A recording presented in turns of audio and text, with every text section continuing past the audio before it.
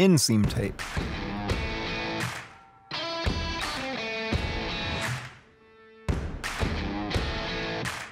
Available in 6 inches and 3 inches, inseam tape speeds application and has better performance than splice adhesive.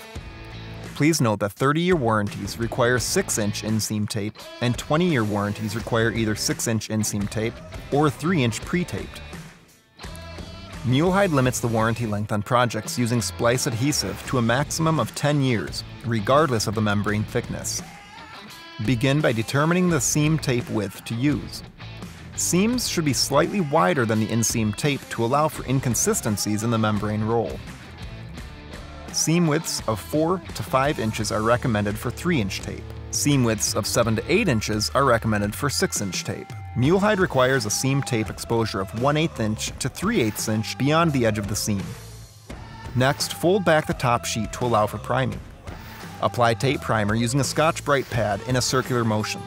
Ensure tape primer extends beyond the edge of the membrane on the top sheet and approximately 1 to 2 inches beyond the edge of the seam on the bottom sheet. When folded back down, you should see a pattern similar to this. As the tape primer dries, it will become flat black. Allow the tape primer to dry, yet remain tacky.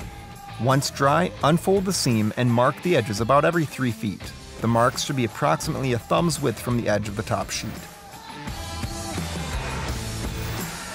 Do not use chalk lines or other markers that can contaminate the tape primer. Next, we'll apply the tape. Once again, fold back the top sheet.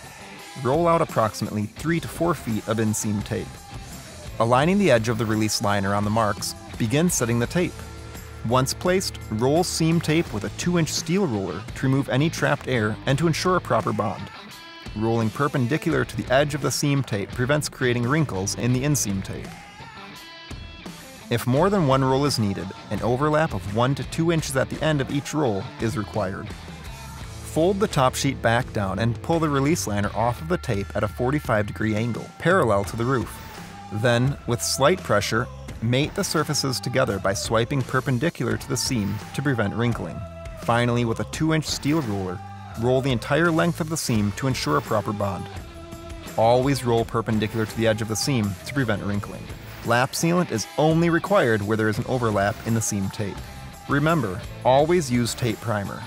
Lap sealant is only required at all overlaps in inseam tape. Seam tape must be exposed 1 8 inch to 3 8 inch at the edge of the seam.